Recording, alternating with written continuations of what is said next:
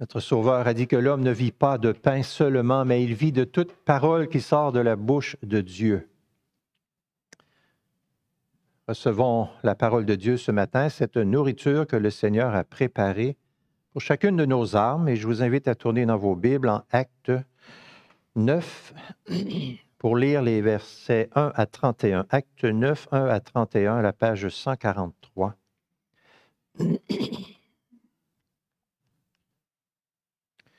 Nous prions d'abord. Notre bon Père, ta bonne parole dépasse de loin toutes les, les pensées et les idées des philosophes et des sages de ce monde. Ta parole est vie et lumière et nourriture. Elle est puissante. Nous te louons pour ta parole.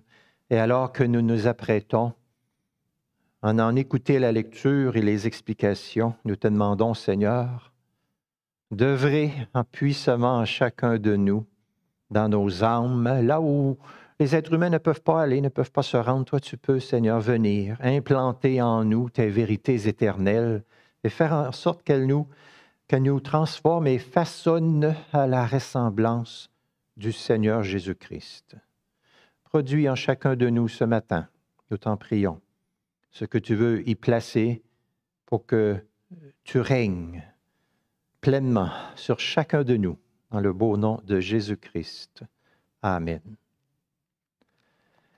Nous allons écouter la lecture, Acte 9, 1 à 31, qui nous parle entre autres de la conversion la plus dramatique, spectaculaire, importante, je dirais, de toute l'histoire de l'Église. Écoutons ce texte passionnant, Acte 9, 1 à 31. Cependant, Saul, qui respirait encore la menace et le meurtre contre les disciples du Seigneur, se rendit chez le souverain sacrificateur et lui demanda des lettres pour les synagogues de Damas, afin que, s'il y trouvait quelques-uns, hommes ou femmes, qui suivent cette voie, il les amène liés à Jérusalem. Comme il était en chemin et qu'il approchait de Damas, tout à coup, une lumière venant du ciel resplendit autour de lui. Il tomba par terre et entendit une voix qui lui disait, Saul, Saul, pourquoi me persécutes-tu? Il répondit, Qui es-tu, Seigneur? Et le Seigneur dit, Moi je suis Jésus que tu persécutes, il te serait dur de regimber contre les aiguillons. Tout tremblant et stupéfait, il dit, Seigneur, que veux-tu que je fasse? Alors le Seigneur lui dit, Lève-toi, entre dans la ville, et l'on te dira ce que tu dois faire. Les hommes qui voyageaient avec lui s'étaient arrêtés, muets de stupeur. Ils entendaient la voix, mais ne voyaient personne. Saul se releva de terre, et malgré ses yeux ouverts, il ne voyait rien. On le prit par la main pour le conduire à Damas. Il fut trois jours sans voir, et ne mangea ni ne but. Or, il y avait à Damas un disciple du nom d'Ananias. Le Seigneur lui dit dans une vision, Ananias. Il répondit, Me voici, Seigneur. Et le Seigneur lui dit, Lève-toi, va dans la rue appelée la droite, et cherche dans la maison de Judas un nommé Saul de Tarse. Car il prie, et il a vu en vision un homme du nom d'Ananias qui entrait et lui imposait les mains afin qu'il recouvre la vue. Ananias répondit, Seigneur, j'ai entendu dire par beaucoup combien de mal cet homme a fait à tes saints dans Jérusalem. Et il a ici, de la part des principaux sacrificateurs, le pouvoir de lier tous ceux qui invoquent ton nom. Mais le Seigneur lui dit, Va, car cet homme est pour moi un instrument de choix afin de porter mon nom devant les nations et les rois et devant les fils d'Israël. Et je lui montrerai combien il faudra qu'il souffre pour mon nom. Ananias partit et lorsqu'il fut arrivé dans la maison, il imposa les mains à Saul et dit, Saul, mon frère, le Seigneur Jésus, qui t'est apparu sur le chemin par lequel tu venais, m'a envoyé pour que tu recouvres la vue et que tu sois rempli d'Esprit Saint. Au même instant, il tomba de ses yeux comme des écailles et il recouvra la vue. Il se leva et fut baptisé. Et après avoir pris de la nourriture, il retrouvera ses forces. Il resta quelques jours avec les disciples qui étaient à Damas, et aussitôt il se mit à prêcher Jésus dans les synagogues en disant que c'était le Fils de Dieu. Tous ceux qui l'entendaient étaient dans l'étonnement et disaient, N'est-ce pas celui qui persécutait à Jérusalem ceux qui invoquent ce nom? Et n'est-il pas venu ici pour les amener liés devant les principaux sacrificateurs? Cependant, Saul se fortifiait intérieurement de plus en plus et confondait les Juifs qui habitaient Damas en démontrant que Jésus est le Christ. Après un temps assez long, les Juifs se concertèrent pour le faire mourir, et leur complot fut connu de Saul. Ils surveillaient même les portes jour et nuit afin de le faire mourir. Mais de nuit, les disciples le prirent et le descendirent le long de la muraille dans une corbeille. Arrivé à Jérusalem, Saul tâcha de se joindre aux disciples, mais tous le craignaient, ne croyant pas qu'il fût un disciple. Alors Barnabas le prit avec lui, le conduisit vers les apôtres et leur raconta comment, sur le chemin, Saul avait vu le Seigneur qui lui avait parlé et comment à Damas il s'était exprimé ouvertement au nom de Jésus. Il allait et venait avec eux à Jérusalem et s'exprimait ouvertement au nom du Seigneur. Il parlait aussi et discutait avec les hellénistes, mais ceux-ci cherchaient à le faire mourir. Les frères en eurent connaissance, le conduisirent à Césarée et le firent partir pour Tarse. L'Église était en paix dans toute la Judée, la Galilée et la Samarie. Elle s'édifiait, marchait dans la crainte du Seigneur et progressait par l'assistance du Saint-Esprit. Amen. Le parc des Sept Chutes est un endroit bien connu dans la région et bien aimé par toutes sortes de marcheurs, de coureurs, de randonneurs. Il y en a qui sont des athlètes et qui essaient de faire le circuit proposé pour battre des records de vitesse. Ce n'est pas mon cas, mais parfois, lorsque des gens de l'extérieur viennent ici dans la région, nous prenons plaisir à les amener pour marcher dans la forêt au parc de cette chute. Et euh, vous savez comme moi, vous avez sans doute, sans déjà parcouru les sentiers qui sont aménagés, qui nous permettent de, de faire une pause après chaque euh, chute, admirer le, le paysage, euh, reprendre notre souffle. Hein, et dans le livre des Actes des Apôtres, l'évangéliste Luc fait cette pause particulière, très intéressante, où, dans un verset, il résume les progrès de l'Église l'avancée triomphante de la parole de Dieu. Il s'arrête et c'est comme s'il nous dit, regardez, regardez bien comment le Seigneur fait prospérer sa parole et comment son Église est en train de croître dans le monde. En Acte 9, 31, nous avons une de ces pauses, c'est la troisième pause dans le livre des Actes des Apôtres, où Luc veut qu'on s'arrête, qu'on regarde. Je relis le verset 31. L'Église était en paix dans toute la Judée, la Galilée et la Samarie. Elle s'édifiait, marchait dans la crainte du Seigneur et progressait par l'assistance du Saint-Esprit.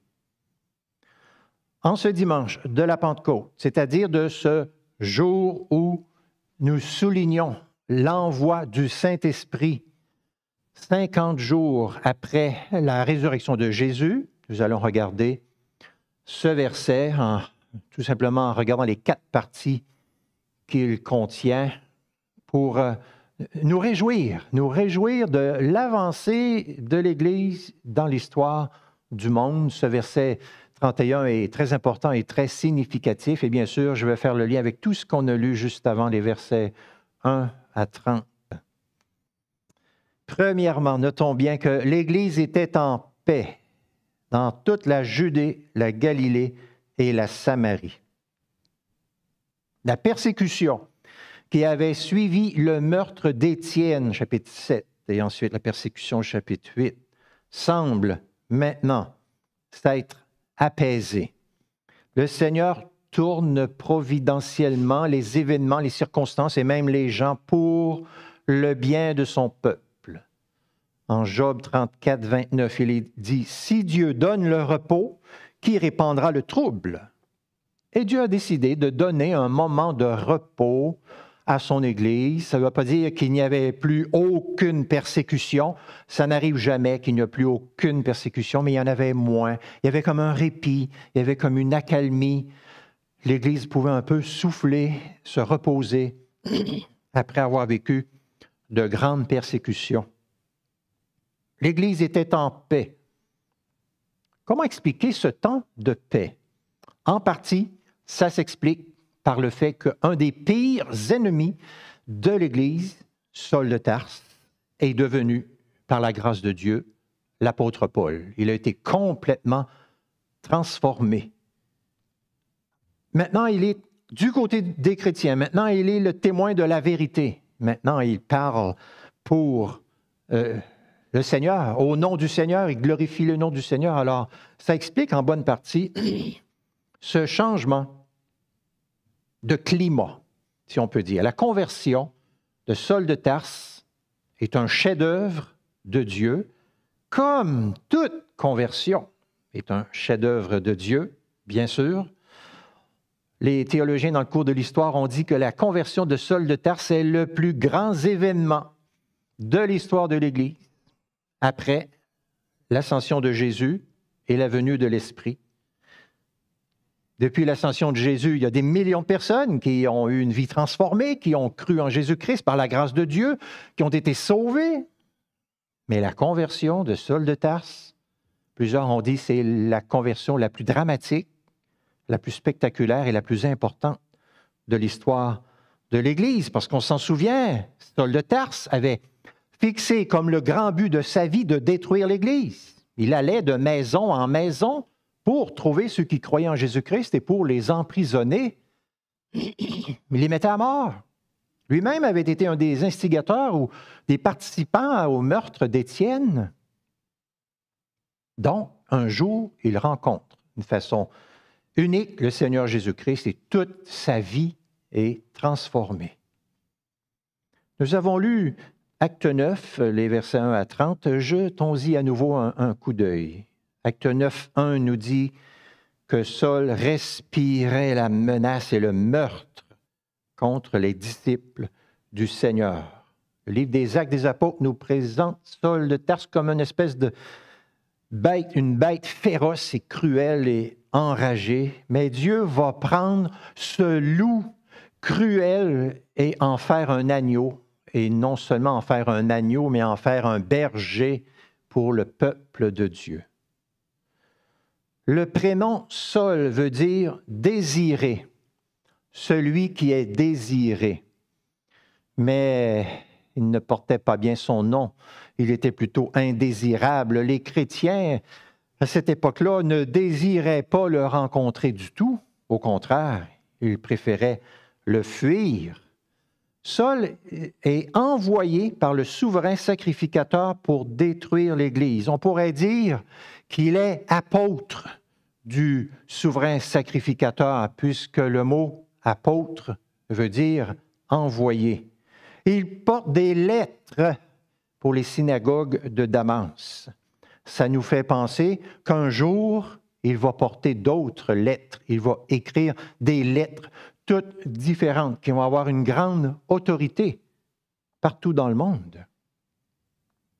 Quand Paul va écrire ses lettres, non plus Saul, mais Paul, quand il va écrire ses lettres, ces lettres vont libérer les captifs partout, alors que les lettres maintenant qu'il porte comme l'apôtre du souverain sacrificateur sont des lettres qui emprisonnent pour incarcérer les chrétiens. Saul, devenu Paul, va écrire 13 des 27 livres du Nouveau Testament, presque la moitié. Les versets 3 à 9 nous racontent sa conversion dramatique à l'issue de laquelle il perd la vue. Il devient aveugle. Verset 8, malgré ses yeux ouverts, il ne voyait rien. La cécité soudaine est un coup magistral ici de la part de Dieu un coup d'arrêt. L'inspecteur qui voulait aller inspecter puis mettre en prison ne peut plus inspecter, il ne voit plus rien. Il est devenu aveugle.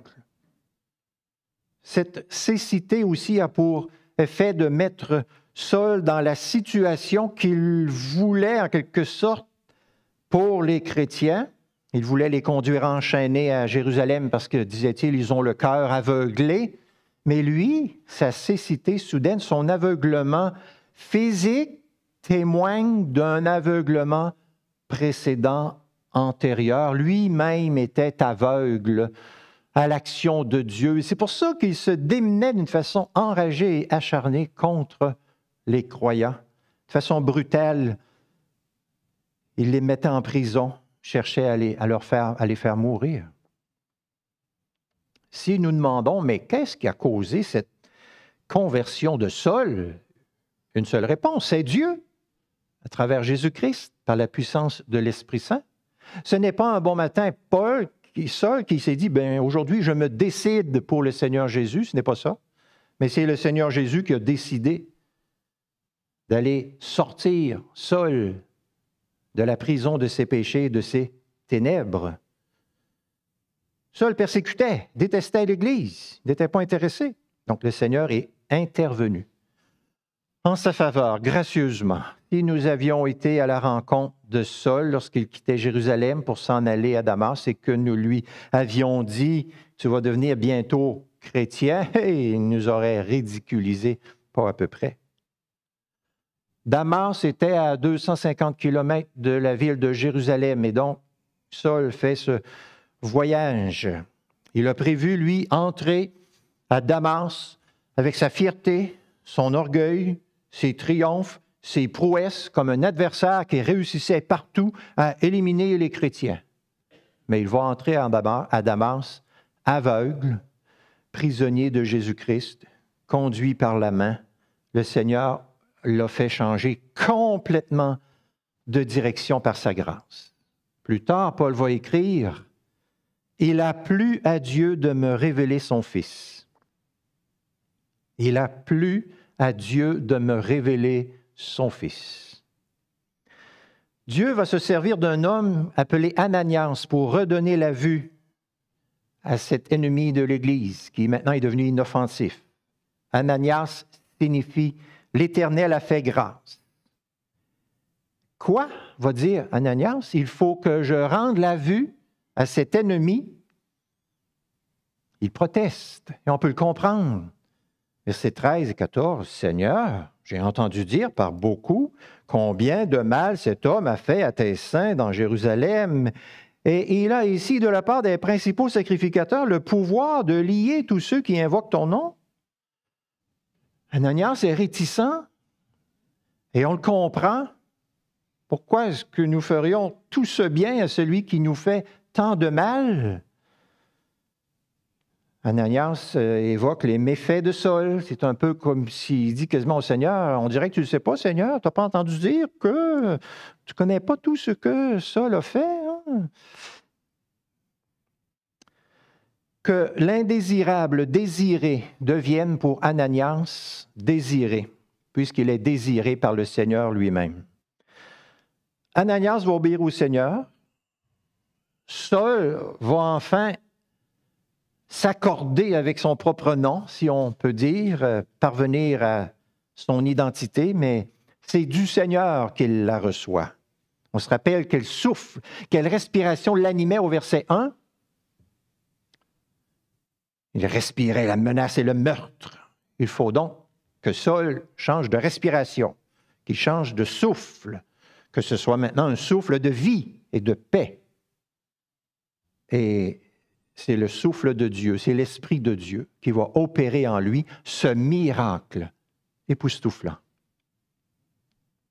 Mettons-nous maintenant du côté des auditeurs de Saul, versets 20 à 23. Saul se met à prêcher dans les synagogues que Jésus est le Christ, le Messie promis, et tant attendu. Et eux autres, ils ont le sentiment de c'est quoi cette affaire-là? Là? Ils venaient pour euh, mépriser les chrétiens, éliminer le nom du Christ, et maintenant il proclame partout que c'est le nom auquel il faut croire. Il est non plus apôtre du souverain sacrificateur, mais il est apôtre de Jésus-Christ. Mais qu'est-ce que c'est que cette affaire-là? Comment a-t-il pu changer? Nous savons, nous, que c'est par l'Esprit Saint. C'est l'Esprit Saint qui l'a changé. C'est l'Esprit Saint qui a œuvré en lui. Le Seigneur Jésus lui est apparu. Le Seigneur Jésus lui a pardonné, lui a fait grâce et l'a appelé. Il lui a dit désormais, tu seras un instrument entre les mains de Dieu pour proclamer mon nom à toutes les nations. Voici maintenant Saul de Tarse en danger. On veut le faire mourir, dit le verset 23. Persécuteur, naguère, persécuté maintenant. Acte 9 commençait en nous disant qu'il quittait Jérusalem avec le mandat officiel du grand souverain sacrificateur pour arrêter les chrétiens en fuite. Notre texte se termine avec Saul quittant Jérusalem en tant que lui-même un chrétien persécuté. Il y a de nos jours dans le monde plusieurs Sauls de Tarse. Ils sont fanatiques dans leur rejet de Jésus-Christ. Ils ne veulent absolument rien savoir. Vous en connaissez. J'en connais. Mais ils ne sont pas au-delà de la grâce souveraine de Dieu. Nous avons besoin de plus de foi, de plus d'attente, de plus de prière pour que le Seigneur vienne les chercher, les transformer eux aussi par sa grâce souveraine. Acte 9, 31. Deuxièmement, notons bien que pendant cette période de paix, l'Église s'édifiait, c'est-à-dire qu'elle se construisait. Elle se bâtissait par le Saint-Esprit qui œuvrait pour placer chaque membre, chaque cellule, chaque personne au bon endroit selon la sagesse de Dieu pour que son peuple puisse se développer et grandir. Non pas d'une façon désordonnée, mais vraiment d'une façon sainte et sage édifier l'Église est un travail positif, un travail constructif, utile, intelligent que l'Esprit de Dieu accomplit. La paix est transitoire, l'édification de l'Église est permanente jusqu'au retour de Jésus. Ça suggère que l'Église est incomplète, c'est-à-dire qu'elle est toujours appelée à progresser, à se développer, à grandir, à se multiplier de tous bords, de tous côtés. Notez bien, Luc ne dit pas l'Église était en paix, donc elle devint paresseuse, nonchalante, fainéante, mondaine, et elle cessa de croître. Luc ne dit pas ça. Les chrétiens ne se sont pas dit, on a moins de persécution, donc on va rester chez nous tranquille avec nos petites affaires, puis on va se la couler douce. Ils n'ont pas dit ça. Non, non. Tous les moments, toutes les périodes de grâce, comme les périodes de persécution que Dieu procure à son peuple, doivent être utilisées par son peuple pour l'édification de son peuple. L'Église ne s'est pas mise à marcher d'une façon négligente ou indifférente, empruntant des mauvaises voies, mais elle a saisi l'occasion. Par la grâce de Dieu, même si c'est un temps de tranquillité, eh bien de, elle a saisi l'occasion pour se solidifier en quelque sorte pour se développer, pour continuer à transmettre le beau message du Seigneur Jésus, de sorte qu'ils ont pris garde pour qu'une période où il y avait moins de persécution ne devienne pas une période où il y avait moins d'édification. Il y avait la paix, merveilleux, mais ça ne voulait pas dire que l'Église dormait ou qu'elle était inactive. Non, il continuait à faire l'ouvrage du Seigneur. Et encore aujourd'hui, à tous les moments, nous sommes appelés, chacun d'entre nous, à faire l'ouvrage du Seigneur, à laisser le Saint-Esprit nous guider pour être au sein de son peuple des gens actifs, à son service, qui aiment le Seigneur et qui veulent faire connaître son évangile. La mobilisation de tous les chrétiens est toujours une nécessité pour que l'évangile progresse dans le monde. Troisièmement, notons bien que l'Église marchait dans la crainte du Seigneur. Marcher dans la Bible est un terme très souvent utilisé aussi bien dans l'Ancien Testament que dans le Nouveau Testament pour parler de la manière de vivre, la manière chrétienne de vivre. L'image est celle de voyageurs qui partent d'un endroit et qui avancent et qui euh, avancent vers un, autre endroit qui est le paradis, la terre promise, on pourrait dire, la gloire éternelle. Et la meilleure manière de marcher vers ce grand but, c'est de marcher dans la crainte du Seigneur. Qu'est-ce que c'est que la crainte du Seigneur? La crainte du Seigneur est une disposition que Dieu lui-même place dans nos cœurs pour nous tenir dans le respect devant sa majesté et dans la soumission à sa volonté, de sorte que nous nous éloignons de plus en plus de tout ce qui pourrait lui déplaire. La crainte du Seigneur est une très bonne chose. C'est Dieu qui la place en nous, dit le prophète Jérémie chapitre 32, verset 40. C'est Dieu qui met sa crainte en nous pour que nous ne nous écartions pas de lui. Ésaïe 33, verset 6, Ésaïe dit, la crainte de Dieu, c'est le trésor de son peuple. Le trésor de son peuple. On peut se demander parfois quel est le secret de la croissance de l'Église et de sa multiplication. Est-ce qu'il y a une formule secrète? Est-ce qu'il y a un plan? En douze étapes que nous pourrions suivre, imiter pour que... Non, il n'y en a pas. La formule de Luc est très simple ici. L'Église marchait dans la crainte du Seigneur. Avouons-le, la crainte du Seigneur n'est pas très haute dans la liste des priorités, des stratégies d'évangélisation ou de croissance des églises de nos jours. On ne parle pas beaucoup de la crainte du Seigneur.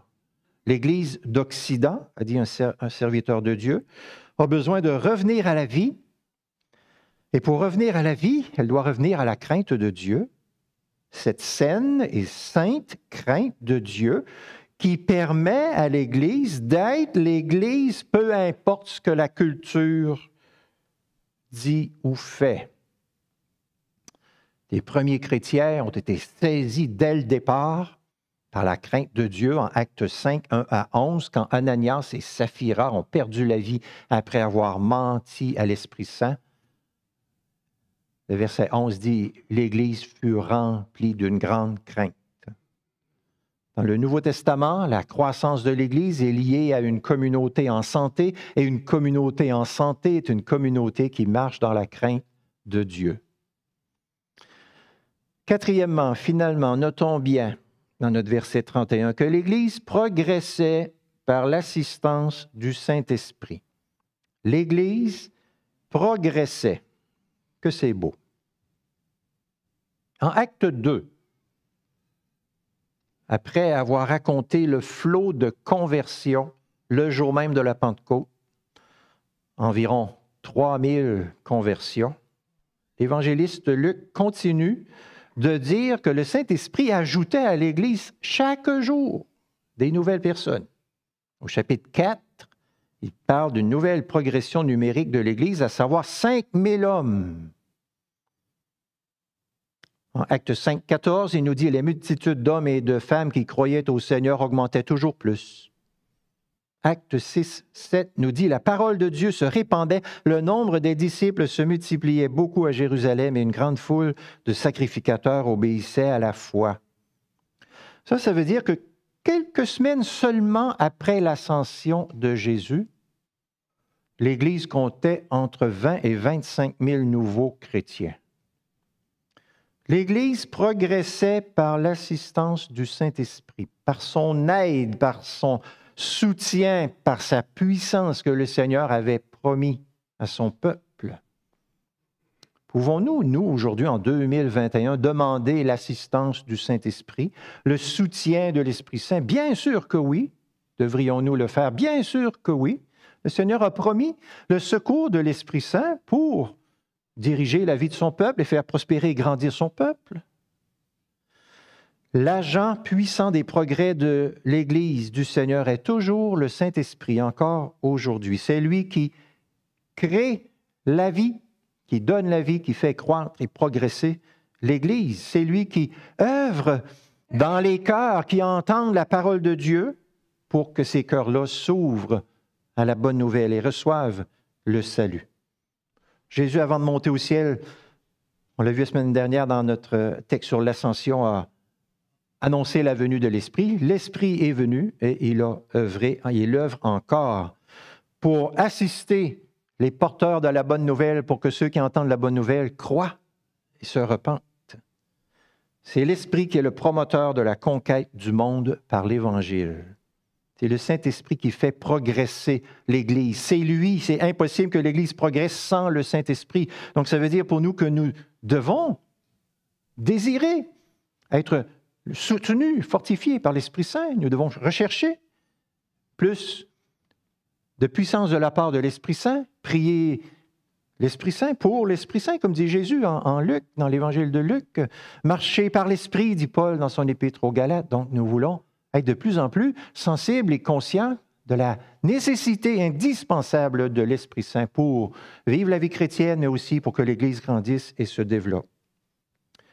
Le prédicateur le plus talentueux au monde est incapable de susciter une expérience de salut dans un cœur. Incapable. C'est l'Esprit Saint qui œuvre, c'est du ressort de l'Esprit Saint.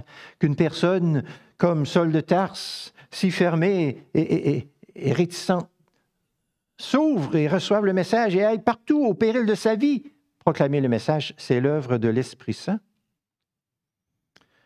Vous savez comme moi, la Bible n'est pas un livre magique qui engendre automatiquement la nouvelle naissance.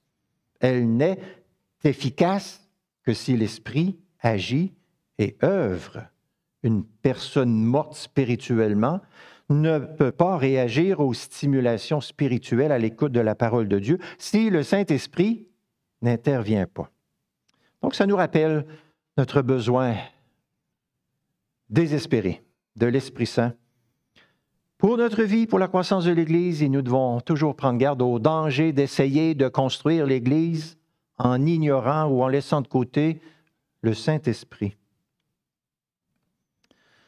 L'imposante chair de Charles Spurgeon comprenait 15 marches. C'était à l'époque où on montait dans la chair là, en haut pour parler aux fidèles. Et Charles Spurgeon était un homme corpulent. Et quand il montait chaque marche, il disait en lui-même et se murmurait en lui-même, je crois au Saint-Esprit. Je crois au Saint-Esprit. Donc, quand il arrivait derrière la chair, après s'être dit 15 fois, je crois au Saint-Esprit, il arrivait préparé pour parler au peuple de Dieu en mettant sa confiance en l'Esprit Saint. Mais ce n'est pas seulement ce prédicateur ou les prédicateurs qui peuvent développer cette bonne habitude, mais c'est aussi les fidèles dans l'Église. Quand vous vous levez le dimanche matin, est-ce que vous dites ⁇ Je crois au Saint-Esprit ⁇ Quand vous vous emmenez à l'Église le dimanche, est-ce que vous dites ⁇ Je crois au Saint-Esprit ⁇ Quand vous entrez dans le bâtiment, quand vous vous asseyez dans votre banc, quand la parole de Dieu va être bientôt lue. Est-ce que vous dites, je crois au Saint-Esprit? Même pendant le sermon, même après le sermon, même quand vous quittez le lieu, est-ce que vous pourriez dire, je crois au Saint-Esprit, je prie le Saint-Esprit qu'il œuvre en moi, qu'il œuvre en chaque personne ici aujourd'hui, qu'il œuvre et qu'il agisse en moi? Ça pourrait être une très bonne habitude à prendre. Je crois au Saint-Esprit je demande au Saint-Esprit qu'il m'éclaire et qu'il me transforme à la ressemblance de Jésus-Christ. Ça vaut pour le dimanche, mais ça vaut pour l'entièreté de notre vie, lorsque nous témoignons, lorsque nous exerçons euh, nos responsabilités dans notre vocation, quelle qu'elle soit, à longueur de la semaine, lorsque nous servons le Seigneur avec nos dons. Je crois au Saint-Esprit. Saint-Esprit vient et œuvre et agit. Notre catéchisme de Heidelberg dit Que crois-tu du Saint-Esprit?